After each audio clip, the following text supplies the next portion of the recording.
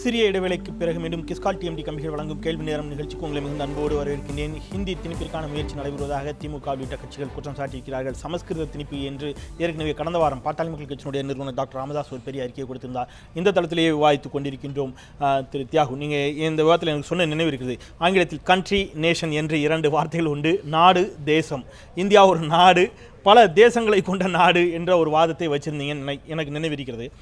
இங்கே தமிழ தமிழை முன்னிலைப்படுத்துவதற்கு அவங்க அவர் ஒரு விஷயம் சொல்கிறார் க திரு கருணாநிதி அவருடைய அறிக்கையில் அதை குறிப்பிட்டிருக்கார். நம்மிடம் நம்மிடம் பேசுகின்ற பொழுது அதை புறந்தள்ளியே பேசுவார்கள். ஆனால் அதை அதை நோக்கியே பயணிப்பார்கள் அப்படிங்கிற ஒரு வாதத்தை வைக்கிறாங்கன்னு சொன்னால் தமிழகத்தினுடைய அரசியல்வாதிகள் அது திமுகவோ அதிமுகவோ ஆட்சி செய்த அரசியல்வாதிகள் மத்தியில் அங்கம் வைத்த பொழுது இன்னும் சரியாக இதை பெற வேண்டிய இடத்தில் தவறிவிட்டார்கள் என்று எடுத்துக்கொள்ளலாமா? ரொம்ப விரைவாக சொல்லிடுறேன். இந்த தேசம் என்பது பற்றி அரசமைப்பு பேரவையிலேயே விவாதம் நடைபெற்றது. இந்திய அரசமைப்பு சட்டம் எங்கேயும் இந்தியாவை தேசம் என்று அழைக்கவில்லை. ஒருத்தர் கேட்டாங்க அதனுடைய பிரியாம்பிள் முதல் வாக்கியத்தில் வி த பீப்புள் ஆஃப் இந்தியான்னு எழுதுறதுக்கு பதில் வி த நேஷன் ஆஃப் இந்தியான்னு எழுதணும்னு கேட்டாங்க. அப்போ அம்பேத்கர் சொன்னார் there is no religion called Hinduism and there is no nation called இந்தியான்னு சொன்னார். இந்து என்ற ஒரு மதமும் இல்லை இந்தியா என்ற ஒரு தேசம் இல்லை. இப்போ மற்ற விவாதத்துக்குள்ளே போக வேண்டாம். இந்தியா என்ற ஒரு தேசம் இல்லை என்பது அரசமைப்பு பேரவையினுடைய கருத்து. ஒரிஜினலாக கான்ஸ்டியூஷன் பிரியாம்பிள் தவிர வேறு எந்த இடத்துலையும் நேஷனுங்கிற சொல் இல்லை. இந்திரா காந்தி அம்மையார் அவசரநிலை காலத்தில் கொண்டு வந்த நாற்பத்தி ரெண்டாவது திருத்தத்தில் தான் தேசிய இறைமை தேசிய ஒருமைப்பாட்டெல்லாம் உள்ளே கொண்டு வந்து நுழைச்சாங்க. அதனால் தேசமாக இல்லையாங்கிறது ஒரு சமூக அறிவியல் பார்வை. அதில் பெரிய அரசியல் வேறுபாட்டுக்காக ஒன்றும் இல்லை. இப்போ சோவியத் ஃபாதர்லேண்டுன்னு போராடும்போது அவங்க சோவியத் நேஷன் எந்த காலத்துலையும் சொன்னாங்க. சரி அதனால் இப்போ என்ன பிரச்சனைனா இந்த இந்தி திணிப்பை பொறுத்த வரைக்கும் உள்ள பிரச்சனை கான்பூர் மாநாடு ஆயிரத்தி தொள்ளாயிரத்தி இருபத்தி அஞ்சில் நடக்கும்போது தான் முதல் முதலாக ஹிந்துஸ்தானியை ஆட்சி மொழியாக்க வேண்டும் இந்துஸ்தானியை காங்கிரஸ் பேரவைகளில் பயன்படுத்த வேண்டும் என்று தீர்மானம் கொண்டு வரப்பட்டது. இந்தி அல்ல.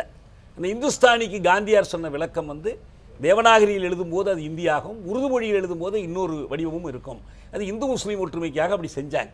ஆனால் கான்ஸ்டியூண்ட் அசம்பிளியில் விவாதிக்கும் போது தேவநாகரி ஹிந்தி இன் தேவநாகரி ஸ்பிரிட் அதுதான் ஸ்கிரிப்ட் முந்நூற்றி நாற்பத்தி மூணாவது உறுப்பு. தேவநாகரி வரி வடிவத்திலான இந்திய ஆட்சி மொழியாக இருக்கும் என்று சொன்னபோது ஏற்று கேட்டாங்க. அப்போ அதெல்லாம் நாங்கள் முஸ்லீம்களுக்காக சொன்னது வல்லபாய் பட்டேல் சொன்னார். இப்போ உங்களுக்கு பாகிஸ்தான் கொடுத்தாச்சு இதெல்லாம் நீங்கள் கேட்டுக்கிட்டு இருக்காதீங்கன்னு சொல்லி அதை முடிச்சிட்டாங்க. இப்போ ஹிந்தியன் தேவனா இப்போ என்னுடைய கேள்வி திமுகவாக இருந்தாலும் இந்திய எதிர்ப்பு கட்சிகளாக இருந்தாலும் எந்த கட்சியாக இருந்தாலும் அவ்வப்போது வெளியிடு வெளியிடுகிற அறிவிப்புகள் முனைப்புகளை கண்டிப்பதும் எதிர்ப்பதிலும் தவறில்லை. நான் அந்த அம்சத்தை இதை பார்க்குறேன். ஆனால் இந்த முனைப்புகள் அவ்வப்போது ஒருத்தர் தீவிரமாக இருக்கும்போது எதிர்ப்பது என்பதும் மொத்தத்தில் இந்திய அரசமைப்பில் இருக்கிற அந்த திணிப்பு இருக்கு பாருங்க. அதை பற்றி கவலைப்படாமல் விட்டு விடுவதும் ஏன்னா ஏற்கனவே பதினேழாவது பகுதி எரித்திருக்கிறோம் அதை எதிர்த்திருக்கிறோம். ஆனால் அறுபத்தி ஏழுக்கு பிறகு அந்த முனைப்பே இல்லை. அடிப்படையில் அவர் இல்லை இல்லை அடுத்து இன்னும் ஒன்று ஒன்றே ஒன்று சொல்லிடுறேன். இதில் சமஸ்கிருதத்தை பற்றி பேசிக்கிட்டு இருக்கிறோம். இப்போ இந்த தேசிய மொழி பயிற்று மொழி தொடர்பு மொழி செம்மொழி இது எதுவுமே கான்ஸ்டியூஷனில் இல்லை. இதுக்கெல்லாம் இடமே இல்லை அதில். இருக்கிறது ஒன்றே ஒன்று அஃபிஷியல் லாங்குவேஜ் மட்டும்தான். அலுவல் மொழி. ஆமாம் ரீஜனல் லாங்குவேஜ் நேஷனல் லாங்குவேஜ்ங்கிற பேர் பிராந்திய மொழி தேசிய மொழியெல்லாம் கிடையாது. எட்டாவது அட்டவணை என்பது மொழிகளின் பட்டியல் லிஸ்ட் ஆஃப் லாங்குவேஜஸ் அது என்ன மொழின்னு யாரும் சொல்லலை. ஆனால் இந்திய அரசமைப்பு சட்டத்தில் முந்நூற்றி நாற்பத்தி மூணு முந்நூற்றி நாற்பத்தி நாலு இந்த பிரிவுகள் மட்டும் இல்லை மொத்தம் இருக்கிற பதினேழாவது பகுதியிலேயே இந்த முந்நூற்றி ஐம்பத்தி ஒன்றுன்னு ஒரு உறுப்பு இருக்குது அதில் கடைசியாக வர்றது ஒம்போதாவது உறுப்பு அது அந்த அத்தியாயத்தில் அந்த பகுதியில். அந்த பிரிவில் தெளிவாக சொல்லியிருக்கிறாங்க. ஏன்னா நம்ம என்ன சொல் நான் எதுக்காக சொல்ல வரேன்னா குதிரை வளர்க்கணும்னு ஆசையாக இருக்குது வீட்டில் கட்டி போடணும். ஆனால் என்ன பண்ணுறது சாணம் போட்டுருதே என்று வருத்தப்படுற மாதிரி வருத்தப்படுறது பிரயோஜனம் இல்லை. நீங்கள் வந்து குதிரை வளர்க்கணுன்னா நீங்கள் சாணம் போடுறத பொறுத்துக்கிட்டு சகித்தாகணும். என்ன சொல்லுது இந்திய அரசமைப்பு? இந்தி மொழியை வளப்படுத்துவது. எதுக்கு வெறும் ஆட்சி மொழிக்கு அல்ல? அது எப்படி இருக்கணும்? It may serve as the medium of expression for all the elements of the composite culture of India இந்தியாவின் பன்முக பண்பாடு அனைத்தையும் வெளிப்படுத்தக்கூடிய ஊடகமாக இருக்கும் வகையில் இந்தியை வளப்படுத்த வேண்டும் வளர்க்க வேண்டும். அதற்கு இந்திய அரசு தனி கவனம் செலுத்த வேண்டும். இது வலதுசாரிகள் மட்டும் இல்லை இடதுசாரி மார்க்சிஸ்ட் கட்சியினுடைய செயலாளர் இஎம்எஸ் நம்பூதிரிப்பாட் சர்க்காரிய கமிஷன்ல வாஜ்பாய் அமைத்த சர்க்காரிய என்- இந்த பிரிவில் எனக்கு ஆட்சேபனை இல்லைன்னு அறிவிச்சார். அது மட்டும் இல்ல. வளர்ப்பதற்கு எதை பயன்படுத்த வேண்டும்னா drawing upon primarily on sanskrit and secondarily on other languages. முதன்மையாக சமஸ்கிருதத்தையும் இரண்டாவது நிலையில் மற்ற எட்டாவது அட்டவணை மொழிகளையும் பயன்படுத்தி இந்தியை வளப்படுத்த வேண்டும் என்று ஒரு பிரிவு இருக்கு. எனவே ஒரு வகையில் சுஷ்மா ஸ்வராஜ் வாதிடலாம் பாஜக வாதிடலாம் நாங்க கான்ஸ்டியூஷன் டைரக்டிவை செயல்படுத்துறோம்னு வாதிடலாம். அப்ப நீங்க கான்ஸ்டியூஷனை எதிர்க்காம ஒரு கான்ஸ்டியூஷன் டைரக்டிவ் செயல்படுத்துவதை மட்டும் எதிர்த்தா போதாது. மற்றவர்கள் கண்டுகொள்ளாமல் இருக்கட்டும். நான் கேட்பதெல்லாம் இப்போது திராவிட முன்னேற்ற கழகம் இந்த பதினேழாவது பகுதி குறித்து என்ன நிலைப்பாடு எடுத்திருக்கிறது? அதனுடைய அரசியல் திட்டத்தில் என்ன இருக்கிறது? எப்படி. மாற்ற போறீங்க இது? எப்படி ஒழிக்க போறீங்க? ஒழிக்க. வழி இருக்கா இந்தியாவுக்கு ரைட் ஓகே இது திமுகவுக்கான மட்டுமான கேள்வி இல்லை. இது எல்லாருக்கும், எல்லாருக்கும் பங்கு- இந்திய எல்லா- இருக்கிற எல்லாருக்கும் அத்தனை பங்கு. இது பேருக்குமான திமுகவுக்காக மட்டுமே நம்ம சுருக்கி பார்த்து விட நான் அப்படி பார்க்கல. இது ஒரு. ஆழமானது. அது இல்ல. ஒரு ஆழமானது. ஆனால் அதை தாண்டி ஒரு யதார்த்தமான ஒரு டீக்கடையில் வேலை பார்க்குற ஒரு கிராமத்தில் இருக்கக்கூடிய ஒரு சாதாரண கூலி தொழிலாளி விவசாயியினுடைய மகனுக்கு இன்னைக்கு இன்னைக்கு அவருடைய மனதில் தோன்றக்கூடியது.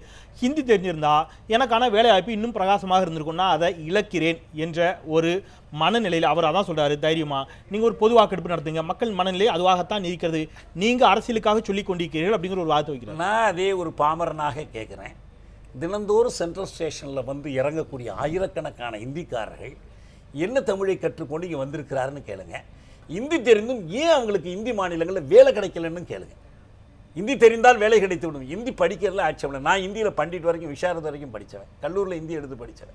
இந்தி படிப்பது என்பது வேறு. திணிப்பு இதை இதையும் இல்ல திணிப்பது மட்டும் இல்ல இந் தாய்மொழியை புறக்கணித்து விட்டு படிக்கிறது? தான் அப்படி பார்த்தா கூட நீங்க அது மாநிலத்துல- பெரிய வாதம் இந்தி இன்னைக்கு மாநிலத்துல ஆங்கில விருப்பப்படாம Right, okay, இருக்கு. ஆனால் ஹிந்தி- ஹிந்தி புறக்கணிக்கப்படுகிறது. ஆனால் அந்த இடத்துல ஆங்கிலம் அரியாசனம் போட்டு அமர்ந்திருக்கிறது அப்படிங்கிற ஒரு குற்றச்சாட்டு வைக்கப்படுகிறது. நான் நீங்க அந்த சமஸ்கிருதம் குறித்து பேசிக் கொண்டிருந்தோம் சமஸ்கிருதத்திற்கான முக்கியத்துவம் அப்படிங்கிறது குறித்து. அஹ், திருப்பியும் சொல்றேன். சமஸ்கிருதத்தை நான் அவ- அவர்ட்ட சொன்னதான் ஒளிக என்பதல்ல கோஷம். இந்த மொழியும் வாழ வேண்டும். எல்லா மொழிகளும் வாழ வேண்டும் அப்படிங்கிறது தான் வா வாதம் அப்படிங்கிற பட்சத்தில் சமஸ்கிருதத்தை அவங்க தொடர்ந்து வந்துட்டு இருக்குது நாங்களும் தொடரோம் அப்படிங்கிற வாதம் உள்ளபடியே நம்பக்கூடிய வாதம் அல்ல. தொடர்கிறது என்று சொன்னால் ஏன் தொடர்கிறது அப்படிங்கிற ஒரு கேள்வியும் பேச்சு மொழியாக பெருவாரியாக இல்லாத நிலையில் சில ஆயிரங்கள் மட்டுமே இருக்கக்கூடிய ஒரு மொழிக்கு இந்தியா முழுவதும் ஒரு சிறப்பு வாரம் கொண்டாடப்படுவதற்கு அந்த மொழியினுடைய வேறு என்ன காரணிக்காக அது கொண்டாடப்படுகிறது? அம்பேத்கர். ம். அவருடைய விருப்ப மொழியே சமஸ்கிருதம் தான். ம். இந்த சமஸ்கிருதத்தை தான் இந்தியாவின் ஆட்சி மொழியாக அதாவது அலுவல் மொழியாக கொண்டு வரணும்னு ஆசைப்பட்டவரே அம்பேத்கர் அதனால தான் கொண்டாடுறோம். ஆமா அதான் அம்பேத்கர் அம்பேத்கர் இரட்டை வாக்குரிமை கேட்டிருந்தாரு. கொடுத்துட்டீங்களா? எது? அம்பேத்கர் இரட்டை வாக்குரிமை கேட்டிருந்தாரு. கொடுத்துட்டீங்களா? இதையே கொடுக்கலையே. அதான் இதையே கொடுக்கலையே. இதை. நான் இப்ப எங்க எங்க. கொடுத்தீங்க? ஒரு நிமிஷம். சமஸ்கிருதம் அதுதான் நான். சொல்ல வரேன். விஷயம், ரெண்டு எழுபத்தி ஏழு ஓட்டு இந்திக்கும் எழுபத்தி ஏழு ஓட்டு வந்து சமஸ்கிருதத்துக்கும் போட்டுட்டு சத்யநாராயணா என்னும் காங்கிரஸ் உறுப்பினர் அதை ஓட்டு போடாம போனதுனால. டாக்டர் ராஜேந்திர பிரசாத் ஓட்டு போட்டு தான் இந்தியை ஆட்சி மொழி இது அலுவல் மொழியாக கொண்டு வந்தார் ரெண்டு- ரெண்டு விஷயம். இதுல வந்து அம்பேத்கர் மாத்திரம் ரெண்டு- ரெண்டு விஷயம். நிஜாமுதீன் என்பவரும் ரெண்டு விஷயம் சார் நான் வரேன் வரேன் அஹ் நீங்க அது சொல்றது அதெல்லாம் அம்பேத்கர் காலத்துல ஒரு வரலாறு இருக்கட்டும். நான் மாற்றுக்கிறது இல்லை என்னுடைய கேள்வி என்பது இப்ப ரெண்டாயிரத்தி பதினஞ்சுல இருக்கிறோம். எல்லாவற்றுக்கும் ஏதேதோ சட்ட திருத்தங்கள் இன்னைக்கு இருக்கக்கூடிய நிலைமைக்கு மாறணும். நீங்க தொழிலாளர் சட்டங்கள்ல இருந்து எல்லாவற்றையும் மாட்டிக் கொண்டிருக்கிறீர்கள் இன்னும் நல்ல சமஸ்கிருதமே படிக்க விடாம. அவர் படிக்க போக போன காலத்துல படிக்கவே விடாம வெளியே அம்பேத்கர் பேசியதை நான் இதே மேடையில கோட் பண்ணிருக்கேன் ஈழா மாநாட்டில் ஆயிரத்தி தொள்ளாயிரத்தி முப்பத்தி ஆறுகளில் பேசியதை நான் கோட் பண்ணி ஒரு விவாதத்துல பேசியிருந்தேன். இல்ல அம்பேத்கர் பேசி எல்லாத்தையும் ஒத்துக்கிறீங்களாங்கிற கேள்வி வரும். அம்பேத்கர் ஹிந்து-. மதம் வேற இருக்கப்படணும்னாரு ஒத்துக்கிறீங்களா. ஹிந்து மதம் வேற இருக்கப்பட அம்பேத்கர் அது ஒரு பார்ப்பன மதம்னாரு. நீங்க ஒத்துக்கிறீங்களா? அதே அம்பேத்கர் தான் இந்த அதே தான் நானும் சொல்றேன். இதே நீங்க சொல்லக்கூடிய பார்ப்பன மொழி சமஸ்கிருதம். அப்புறம் அது மட்டும் எப்படி சொன்னாரு. எப்படி அதை கத்துக்கிட்டாரு? கேள்விக்கு நீங்க நேரடியா வரல. என்னுடைய கேள்வி என்பது நான் உள்ளபடியே அறிஞ்சுக்கணுங்கிற ஆசையில தான் கேட்கிறேன் கேளுங்க. சமஸ்கிருதத்துக்கு இந்தந்த சிறப்புகள் இருக்கின்றன. அதனால் சமஸ்கிருதம் கற்று வாரமாக சமஸ்கிருத வாரமாக கொண்டாடப்படுகிறது என்பதற்கு இதுவரைக்கும் எந்த யார்ட்டையும் வரல. சார் நான் சொல்றேன். அதுதான் நான் சொல்றேன். அம்பேத்கர் விட்டுட்டு வேற என்ன? மொழிக்கான இல்லாமையே ஆயிரத்தி எழுநூத்தி எண்பத்தி ஆறுல சார் வில்லியம் ஜோன்ஸ் இல்ல சார் பாரதியும் பாரதிதாசனும் வள்ளுவனும் கம்பனும் தொல்காப்பியனும். தமிழை பற்றி ஆயிரம் ஆயிரம் சொல்லியிருக்கிறான் நீங்க என்னுடைய கேள்வியை திருப்பி தெளிவா அதுதாங்க. உள்வாங்கிக்க. இருங்க சார், ஒரு தொன்மை, நிமிஷம். சார், சமஸ்கிருதம், சார், இலக்கண. வடிவம் இருக்கக்கூடிய ஒரே மொழி தமிழை? நான் என்னுடைய. கேள்வி என்பது நான் முடிச்சிடறேன் என்னுடைய கேள்வி என்பது இதை விட எல்லா சிறப்புகளும் தமிழுக்கு இருக்கின்றன தெலுங்கிற்கு இருக்கிறது எல்லா மொழிக்கும் இருக்கு நான் அதுக்குள்ள போறோம் என்னுடைய கேள்வி என்பது சமஸ்கிருதம் பதினஞ்சாயிரத்திற்கும் குறைவாக பேசக்கூடிய பேச்சு வழக்காக இருக்கக்கூடிய ஒரு மொழிக்கான வாரம் கொண்டாடப்படுகிறது என்று சொன்னால் அதற்கான காரணம் என்னங்கிறதா அந்த மொழி நலிந்து. போய்விடக் கூடாது என்ற காரணம் தமிழ் நலிந்து போலாமா? தமிழ் நலிந்து- போலாமா? நிமிஷம். மலையாளம் இப்போ- போலாமா? ஏன் நீங்க. சொல்ற ஹிந்தியை ஒரே போலாமா? நிமிஷம். நீ- இருங்க இருங்க ஒரு நிமிஷம் இப்போ நீங்க இடஒதுக்கீடு எதுல கொடுக்குறீங்க நான் கேக்குறது சார். நீங்க இடஒதுக்கீடு எதுல கொடுக்குறீங்க. நலிந்தவர்கள் சிறுபான்மை இருந்தா அப்ப இந்த மொழி சிறுபான்மை மொழியா போயிடுது அப்சல்யூட்லி சார் இந்த மொழி சிறுபான்மை மொழியா போயிடுது யாருக்கு அது ஏன் கொடுக்க கூடாது. அது ஏன் தடுக்குறீங்க யார் பேசுறாங்க wait, ரெண்டு விஷயம். எவ்வளவு பேர் பேசுறாங்க சமஸ்கிருதத்தை பேசணும் யாரு please, பேசுறாங்க? ஒரு நிமிஷம். இந்த. சமஸ்கிருதம் தான் ஜெர்மன்ல பேசிட்டு ஒரு இருக்காங்க ஒரு நிமிஷம் please. நான் முடிச்சிடுறேன். இன்னைக்கு நல்ல வாதம் நல்ல வாதம் துருக்கி வந்து இங்க யாருக்குமே தெரியல. ரொம்ப நலிவடைஞ்சு போச்சு. துருக்கிய மொழி இங்க கத்து கொடுக்கலாம் துருக்கி வாரம் கொண்டாடலாமே. சார் ஈரான் ஈரான் நான் தான் சொல்றேன். சமஸ்கிருதம் ஈரான்ல இருக்கு. தெரியுமா உங்களுக்கு? வந்து கேக்குறேன் சார். நீங்க நலிவடைஞ்ச. மொழியை கத்து கொடுங்கங்கறீங்க சார், ஈரான் நான் மொழி நலிவடைஞ்சு ஒரே நிமிஷம். இருங்க. என்ன கேள்வி புரியுதா இல்ல இல்ல சார், பதினேழு கேள்வி புரியுதா என்ன? நான் கேக்குறது. சமஸ்கிருதம் நலிவடைஞ்சு போச்சு. எண்ணிக்கை ரொம்ப குறைஞ்சு போச்சு. அதனால அதை பலப்படுத்தணும்.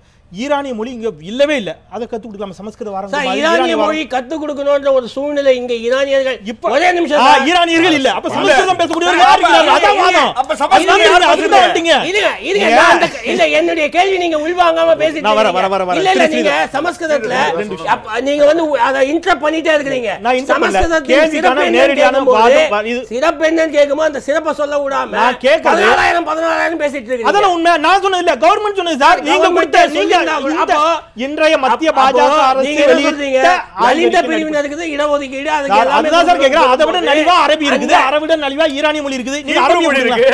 அரபி வாதம் ஹீப்ரு வாதம் சார் பதினாலாயிரம் பேர் இங்க பேசிட்டு. இருக்காங்களா இல்லையா நான் கேக்குறது- பதினாலாயிரம் பேர் இங்க பேசிட்டு இருக்காங்களா? இல்லையா பதினாலாயிரம் பேர் அரபு பேசுறவங்க தமிழ்நாட்டுல இந்தியால இருக்கிறாங்க இல்லையா யாரு உருது பேசுறவங்க. உருது இருக்காங்க. வாரம். கொடுங்க. கேளுங்க.